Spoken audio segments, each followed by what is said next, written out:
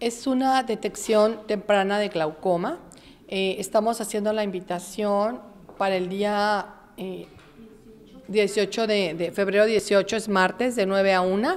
Es totalmente gratuita y se pide sobre todo que vengan pacientes mayores de 40 años de edad con antecedentes hereditarios de glaucoma eh, o bien que tengan diabetes mellitus, presión alta, migrañas, miopías altas, lentes gruesos, eh, hipertensión arterial, pero sobre todo, sobre todo los que tengan antecedentes hereditarios de familiares con glaucoma. Hacemos tres jornadas al año. La primera es a principios de año, otra a mitad del año y la última antes de finalizar el año.